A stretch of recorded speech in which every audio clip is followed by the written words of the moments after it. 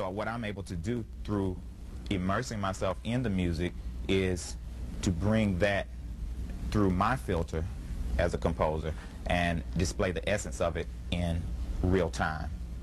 And so uh, a, a, composer and arranger, you ornament and you, and you, place, you, you place things in their proper context, for lack of a better word. Um, we add the bulbs to the Christmas tree, in other words.